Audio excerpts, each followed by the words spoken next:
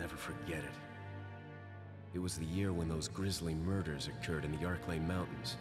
Soon after, the news was out to the whole world, revealing that it was the fault of a secret viral experiment conducted by the international pharmaceutical enterprise, Umbrella.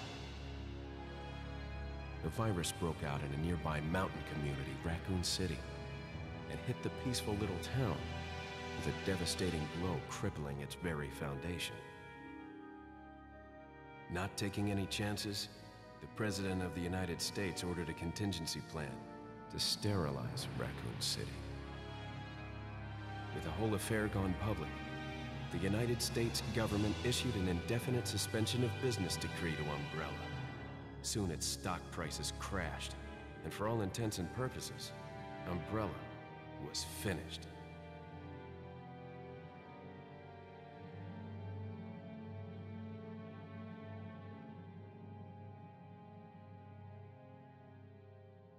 Six years have passed since that horrendous incident.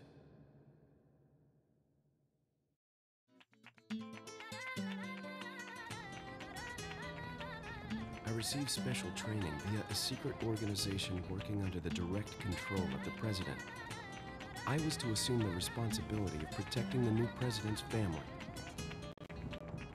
Coño, why am I the one who always gets the short end of the stick? Yo, who are you really? A long way from home, cowboy.